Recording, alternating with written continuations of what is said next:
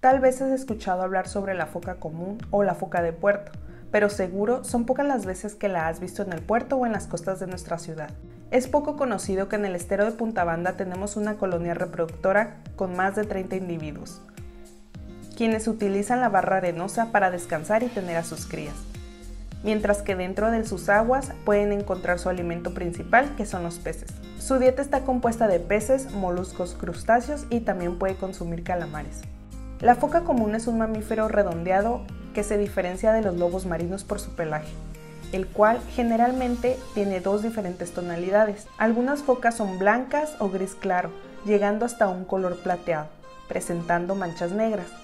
mientras que otras son negras o gris oscuro a pardo con manchas circulares blancas. También a diferencia de los lobos marinos, las focas tienen las aletas delanteras más cortas y no presentan orejas, sino que solo tienen un orificio auricular. Este mamífero marino se distribuye en el hemisferio norte de los dos grandes océanos, tanto en el Pacífico como en el Atlántico, excepto en las zonas congeladas como los polos. Las focas son muy propensas a ser afectadas por la contaminación urbana e industrial, así como el disturbio causado por el turismo mal regulado como las motos acuáticas o las lanchas que pasean por los sitios de descanso que pueden colisionar con los individuos que se están alimentando, tanto que se les puede considerar como buenos indicadores biológicos de las alteraciones del ecosistema.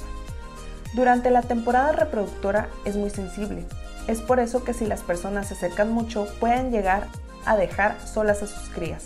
poniéndolas en riesgo de los depredadores, el calor o frío extremo, o en los peores casos pueden llegar a abandonarlas, destinándolas a la muerte. Es por eso que si ves a una colonia de mamíferos, lo mejor es no acercarte, retirarte del sitio, evitando así el disturbio hacia esta especie.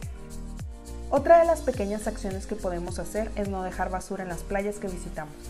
ya que los desechos plásticos son el principal contaminante de nuestros mares y las especies silvestres son las más afectadas.